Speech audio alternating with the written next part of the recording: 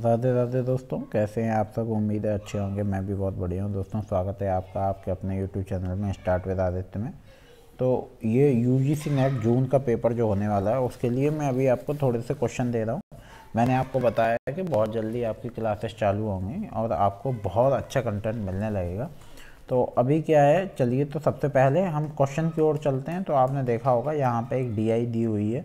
तो सबसे पहले ये डीआई आप समझ लीजिए कि एक टेबल दी हुई है, आपको इसी में से पाँच क्वेश्चन सॉल्व करने होंगे। और अगर आपने एक सही कर लिया तो जहाँ तक है आपके पाँचों सही हो जाएँगे।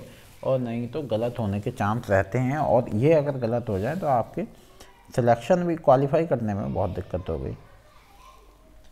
यदि कंपनी ए कंपनी सी तथा कंपनी डी में सभी सॉफ्टवेयर इंजीनियरों की संख्या में क्रमश 30 परसेंट पैंतीस परसेंट तथा 40 परसेंट की वृद्धि हो तो कुल मिलाकर सभी पाँचों कंपनियों में, सभी सॉफ्टवेयर इंजीनियरों की संख्या में कुल वृद्धि कितनी होगी? अठारह परसेंट, बाईस परसेंट, तीस परसेंट और पैंतीस परसेंट। तो जो आपका सही उत्तर है यहाँ पे, वो है आपका बी बी है आपका यहाँ पे बाईस परसेंट। देखिए, सबसे पहले तो यहाँ परसेंट निकालिए कि कैसे है बाईस परसेंट, देखिए। पूरा सभी पाँच और सॉफ्टवेयर इंजीनियर कुल संख्या सबका टोटल कर लिया। टोटल करने के बाद तीस परसेंट वृद्धि के बाद कंपनी ए में सॉफ्टवेयर इंजीनियरों की संख्या सबको जोड़ा तो ये जो संख्या निकली तो इसमें जो वृद्धि हुई वो बाईस परसेंट चलिए अगला क्वेश्चन है। सभी पाँचों कंपनियों में कनिष्ठ सॉफ्टवेयर इंजीनियरों जे ए एस ई की औसत संख्या क्या है? 150, 110, 170, 190 तो जो आपका सही उत्तर है वो है 170 सी आपका एकदम सही उत्तर है। देखिए, ये सब निकालने का सबसे बढ़िया तरीका है, पाँचों का टोटल कर लीजिए और जितने पाँच है तो पाँच से ही डिवाइड होगा। छः होते तो छः से होता, सात होते तो सात से होता और वो भाग दे दीजिए, जो वैल्यू निकल के आए, वो आपका सही उत्तर है। यदि सभी पाँच कंपनियों में नियुक्त ए ए एस ई की संख्या में 20 परसेंट की वृद्धि तथा सभी पाँच कंपनियों में एस एस ई की संख्या में 20 परसेंट की कमी हो तो S A S S, E की संख्याओं की तुलना में एस, ए ए, एस, ई की संख्या कितने प्रतिशत अधिक होगी? अट्ठारह परसेंट बीस परसेंट दस परसेंट तो वो दस परसेंट अधिक होगी। यहाँ तो उत्तर लिखा हुआ है, लेकिन ये सारे प्रश्न में लगे हुए, मैंने पिछली बार ही लगा लिए थे।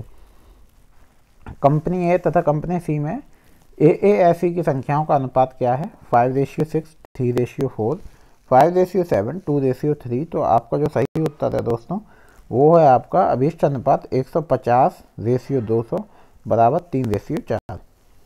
सभी पाँच कंपनियों के जे ए एस सी की औसत संख्या तथा ए ए एस सी की औसत संख्या के बीच क्या क्या अंतर है?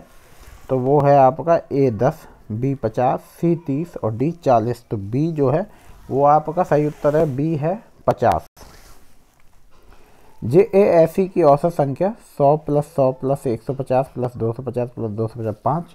जैसे मैंने आपको अभी बताया 170 निकल के आई, फिर इसकी निकल के आई 220 और माइनस कर दिया तो इसका अंतर आ गया 50 अब कंप्यूटर का क्वेश्चन आपके आ गए कि मॉडर्म का असंक्षिप्त रूप क्या है? Modulator, demodulator, modern electronic microwave mechanism of disk, हियंसिंग memory और मोबाइल डाटा, एक्सट्रॉन ट्रॉनेट मल्टी कोर तो ए जो है, वो आपका सही उत्तर है ए है।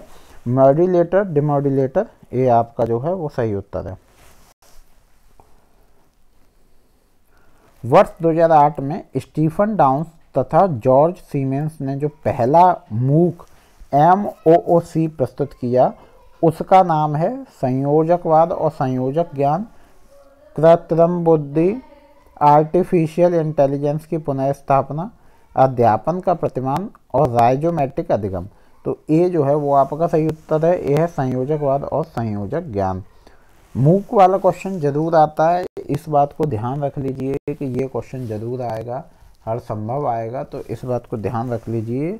ये क्वेश्चन मूक से आपका एक क्वेश्चन ज़रूर आना है। अब कथन, दो कथन दिए हुए हैं। तो सत्य सिद्धांतकार असफलता को किसी योग्यता के ना होने के रूप में परिभाषित करते हैं। कथन दो है, वर्तमान सिद्धांतकार असफलता को प्रयास न किए जाने के रूप में परिभाषित करते हैं। उपयुक्त कथनों के आलोक में नीचे दिए गए विकल्पों में से सही उत्तर का चयन करें। कथन एक और दो दोनों सही हैं। कथन एक और दो दोनों गलत हैं। कथन एक सही है, किंतु कथन दो गलत है। कथन एक गलत है, किंतु कथन दो सही है। तो ए जो है वो आपका सही उत्तर है। ए है कथन, एक और दो दोनों सही हैं। निम्नलिखित में से कुछ सबसे बड़े तथा सर्वाधिक सफलता डिजिटल ग्रंथालों में है। Project Gutenberg, Microsoft Teams E biblio internet archive और सकाई एल एम एस। तो आपका जो सही उत्तर है वो सी। केवल ए, सी और डी। तो प्रोजेक्ट गुटेनबर्ग ई बिब्लियो और इंटरनेट आर्काइव, माइक्रोसॉफ्ट टीम्स आपका नहीं है। जो नेक्स्ट क्वेश्चन है आपका, वो है सूची एक को देखिए, ज़्यादातर सुमेलन बहुत आएँगे तो सूची एक, सूची दो से सुमेलन व्यवहारात्मक प्रतिमान और निर्माणकर्ता।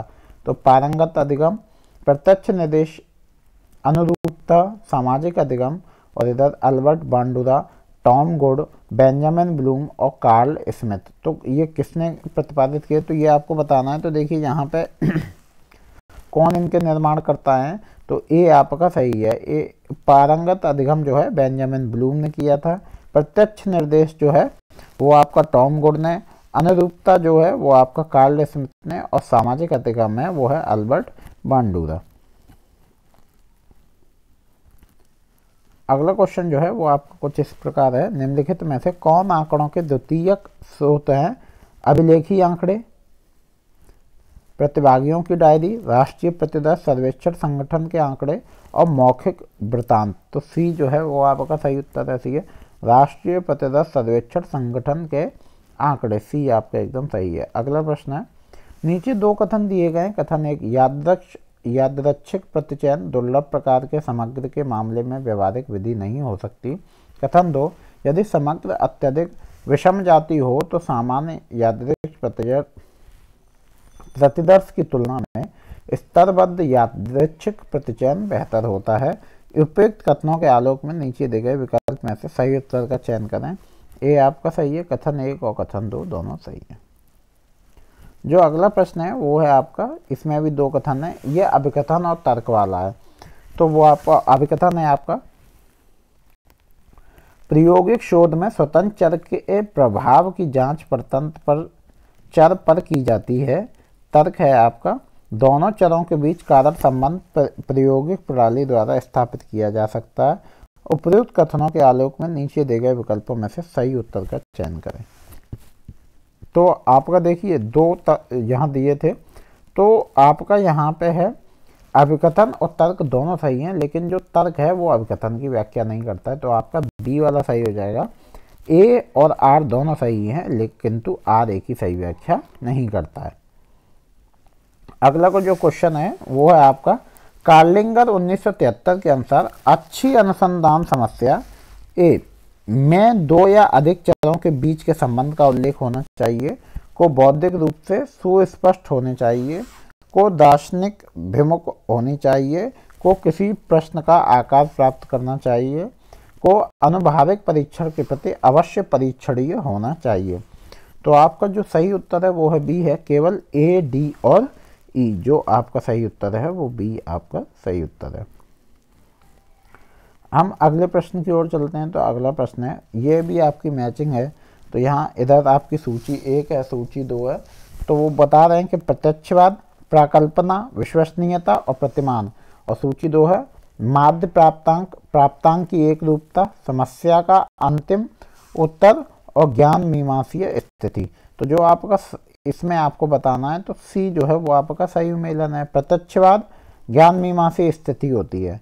और आपका क्या है? देखिए, प्राकल्पना समस्या का अंतिम उत्तर और आपकी विश्वसनीयता, प्राप्तांक की एक रूपता और प्रतिमान माध्य प्राप्तांक। चलिए, अगले प्रश्न की ओर चलते हैं। तो अगला प्रश्न है आपका, संप्रेषण में गुणार्थक शब्दों के रिक्त स्थान होते हैं, शाब्दिक अर्थ, सांस्कृतिक अर्थ, सामान्य अर्थ और स्पष्ट अर्थ। तो बी जो है वो आपका सही उत्तर है बी है सांस्कृतिक अर्थ। बी आपका एकदम सही उत्तर है, वो है सांस्कृतिक अर्थ। अगला प्रश्न है, वो है आपका, संप्रेषण में संदेश संग्रहण में प्रमुख अवरोध हैं। श्रोताओं की अभिवृत्ति श्रोताओं का ज्ञान, श्रोताओं की शिक्षा और श्रोताओं की आय। तो संप्रेषण में संदेश संग्रहण के प्रमुख अवरोध हैं, श्रोताओं की अभिवृत्ति संप्रेषण में संदेश संग्रहण में प्रमुख अवरोध श्रोताओं की अभिवृत्ति होती है। यदि श्रोता की भौतिक अथवा मानसिक स्थिति से जुड़ी किसी भी प्रकार की परिस्थिति में बाधा उत्पन्न होती है तो संदेश संग्रहण में अवरोध पैदा होता है। तो यहाँ इतने प्रश्न मैं आज आपके इस वीडियो में कराता हूँ। बाकी मैं आपको नेक्स्ट वीडियो में प्रोवाइड करा दूँगा। वीडियो को ज़्यादा से ज़्यादा शेयर करें लाइक करें और चैनल को सब्सक्राइब कर लें। मिलते हैं अगले वीडियो में। राधे राधे धन्यवाद।